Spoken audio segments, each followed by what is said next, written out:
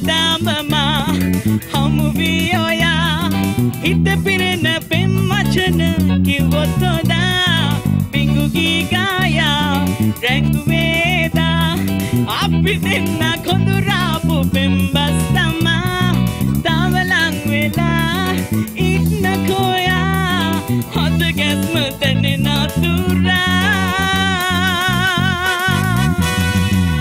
චරිතයක් හාල් මැස්සෙක් ළඟ දන්න ගහපු දඩ ගැල්ලට මටත් ලැජ්ජයි ඉතුරුවා යනවා ගෙදර. සේ හැටියට වැඩ කරන්න ඕනේ. මේ මොයා මොකටද මේ කොල්ලට හාල් මැස්ස කිව්වේ මං අරයන්ට සාපේක්ෂව එයා හාල් මැස්සා. සාපේක්ෂව. මචං එහෙම නෙමෙයි. නේ මචං. මචං. ඔව් මචං කමන්නේ මචං.